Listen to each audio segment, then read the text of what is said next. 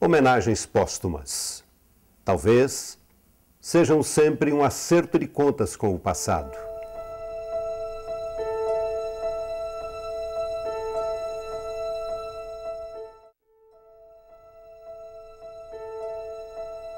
Parece que enquanto tínhamos as possibilidades, não as apreciamos como deveríamos. No entanto, pela sua dedicação ao esporte e por todos aqueles que se inspiram nele, a homenagem parece fazer sentido.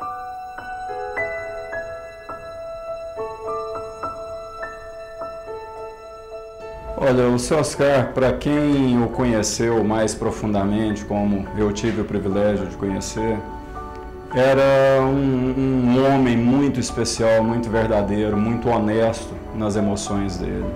Então, eu conheci o seu Oscar aí há uns 20 anos atrás e ao longo desse tempo só vai aumentando a admiração que a gente tinha por essa pessoa.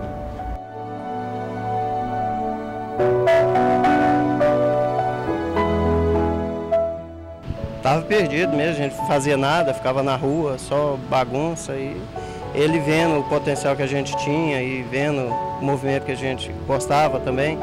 E aí ele se interessou e nos acolheu, nos acolheu mesmo, dando tudo, inclusive comida ele dava pra gente, pra gente poder treinar, as condições que a gente precisava. Ele arcava com as despesas de viagem e tudo.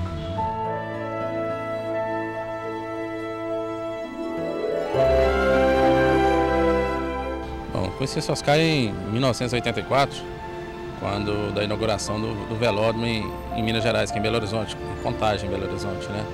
Então, assim, é, na época eu aparecia, um garoto de 17 para 18 anos, aparecia como, dito, uma promessa numa modalidade do ciclismo que eu acreditava, os colegas acreditavam que era uma, é, que a gente chama de velocista, né?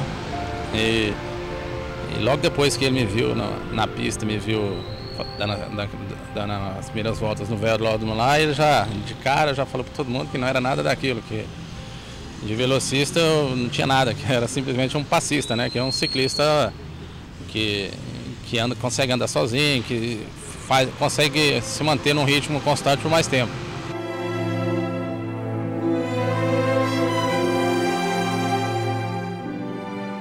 Então ele mostrou o caminho certo, né? A partir dali eu descobri realmente minha vocação dentro do ciclismo e, e minhas grandes conquistas vieram sempre a partir daí.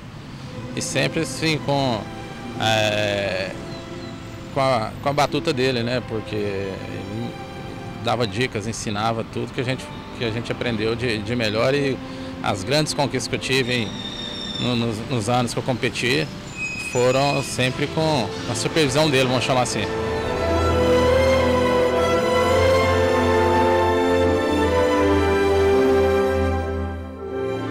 satisfeito que eu convivi com ele muito tempo, é, quando ele se tornou assim brasileiro, né? Que foi de Uruguai para brasileiro, nós somos testemunha dele.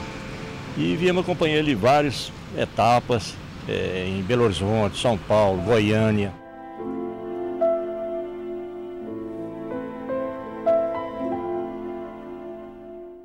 Com os ensinamentos do Oscar, a gente, a gente aprendeu muito. E eu fui campeão mineiro, campeão berlanense várias vezes. Fui até vice-campeão brasileiro com, com o seu Oscar. Então o seu Oscar, é, para a gente que conviveu com ele, uma perca muito grande.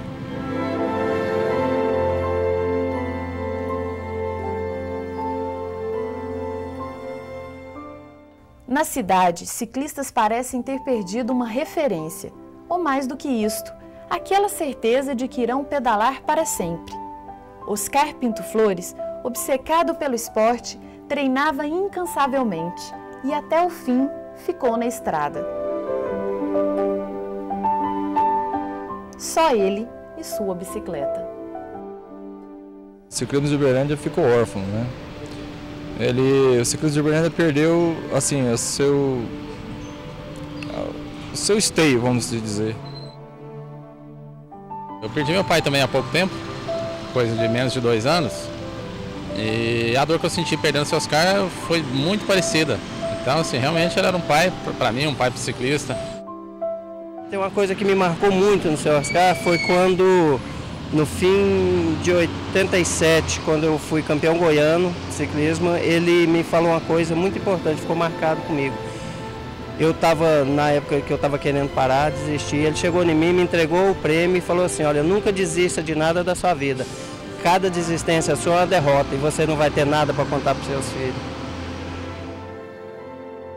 Gostaria sim de dar uma, uma geral para quem não conheceu da trajetória do, do, Oscar Pinto Flores, desde a infância muito pobre, muito difícil no Uruguai, uh, quando ele começou a praticar o ciclismo profissionalmente, os clubes tinham uma influência política muito grande e por isso ele sofreu uma perseguição política no, no, da ditadura do Uruguai.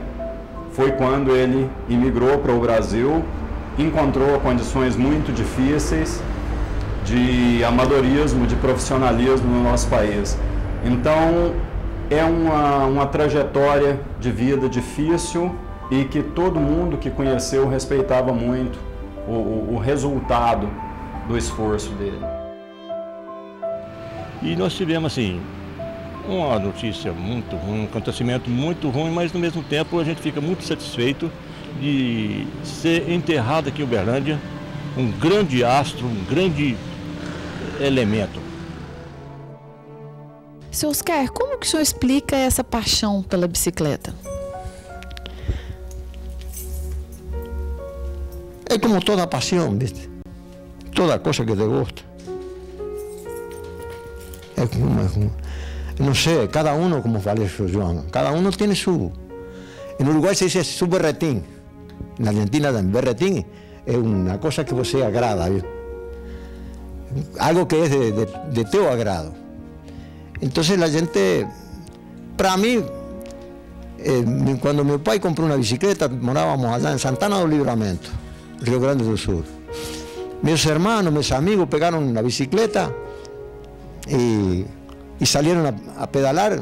Al otro día, a la tarde ya estaban pedalando.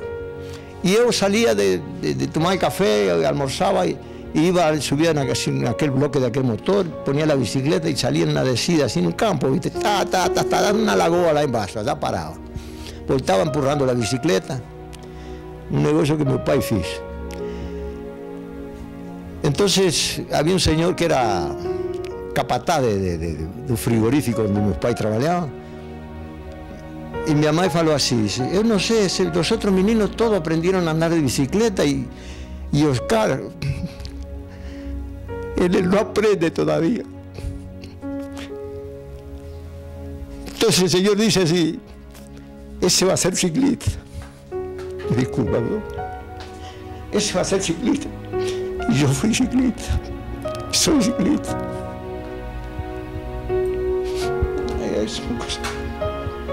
Las más tienen la sabiduría que solamente las más tienen.